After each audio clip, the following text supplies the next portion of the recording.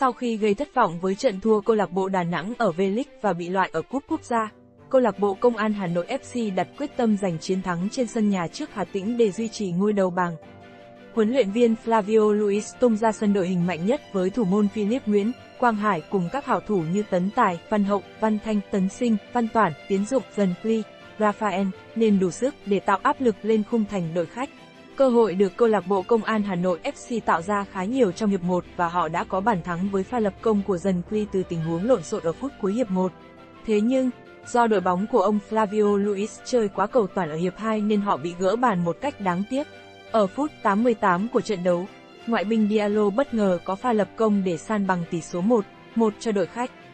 Bị gỡ hòa ở những phút cuối trận, nên câu lạc bộ Công an Hà Nội FC chỉ hơn đội nhì bảng Việt theo một điểm khiến cuộc đua giành chức vô địch mùa giải năm nay thêm hấp dẫn. Chia sẻ về Hăng Hải, ông Flavio Cruz chia sẻ, cầu thủ sinh năm 1997 luôn nhận áp lực của dư luận. Kỳ vọng dành cho Quang Hải luôn rất lớn. Chúng tôi rất may mắn khi có cậu ấy. Tôi chưa bao giờ làm việc với một cầu thủ tuyệt vời như Quang Hải. Cậu ấy có đẳng cấp cao, có mặt đúng thời điểm, phối hợp tốt, lối chơi thông minh. Quang Hải đến đúng lúc chúng tôi cần cậu ấy. Quang Hải sẽ tiến bộ rất nhiều và chiến thắng sớm muộn sẽ đến. Chúng tôi không thắng 3 trận vừa qua là lỗi của tôi, không phải do Quang Hải.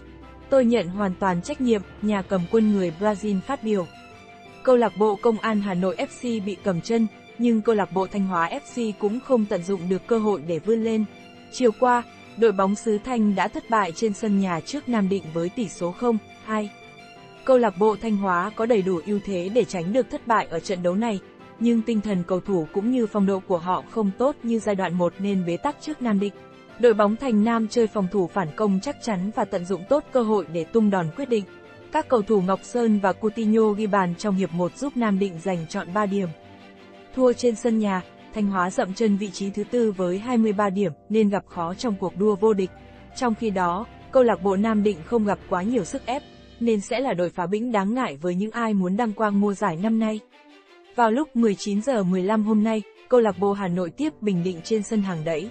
Đây sẽ là trận đấu rất quan trọng với đội bóng của Bầu Hiển bởi họ cần chiến thắng để đeo bám nhóm dẫn đầu. Xét về lực lượng, câu lạc bộ Hà Nội nhỉnh hơn và có ưu thế sân nhà nên hứa hẹn sẽ giành 3 điểm để rút ngắn khoảng cách với đội đầu bảng Công an Hà Nội FC.